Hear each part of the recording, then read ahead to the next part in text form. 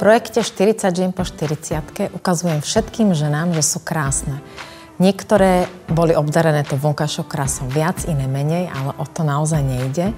Ide o tú vnútornú spokojnosť sama so sebou a preto som si vybrala ako tvár tohto kola Euku Pavlikovú, moju obľúbenú herečku, moju obľúbenú bytosť, lebo ona vie tú svoju krásu niesť a viem, že všetky ženy, keď ju uvidia, keď uvidia jej fotky, keď pochopia celú myšlienku projektu, pozrú sa na seba do zrkadla, si povedia, wow, som krásna.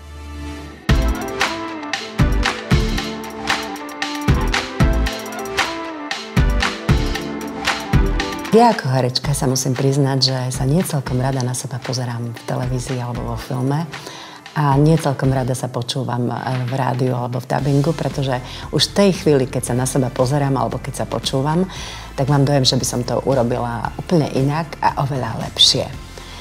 Ale na druhej strane sa ako herečka veľmi rada fotím.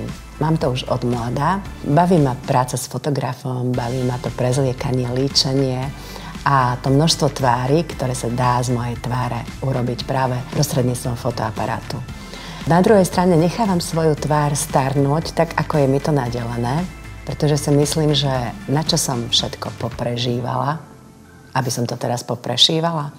Nie, mám v tvári pečetku celého svojho života, všetko to dobré a zlé, čo som zažila. A myslím si, že sila žien v zrelom veku, nás, žien v zrelom veku, nespočíva v štíhlej línii a v tvári bez vrások, ale v niečom úplne inom. Fotím sa rada aj preto, aby som možno tie fotografie porovnávala, ako zub času postupne ohlodáva moju tvár.